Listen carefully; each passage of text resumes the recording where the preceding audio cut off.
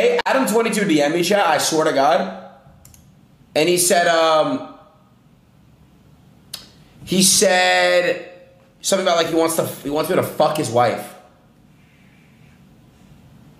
I swear to God, he said some shit like that. Like, yo, do you want to do you want to fuck my wife?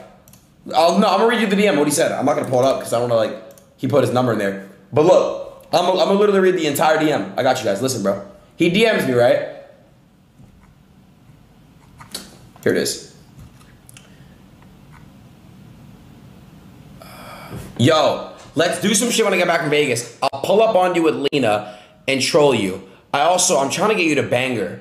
Assuming you sounds viral shit about otherwise. I said, bro, what the fuck?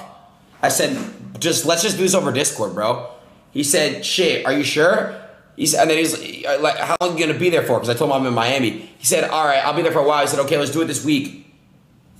Shit, ah, bro, like he wanted me to fuck his wife, bro. I'm not gonna lie, Adam. What the hell are you? I'm not making it up. You're gonna, bro. I swear to God, bro. Why? Chad? would you guys fuck his wife?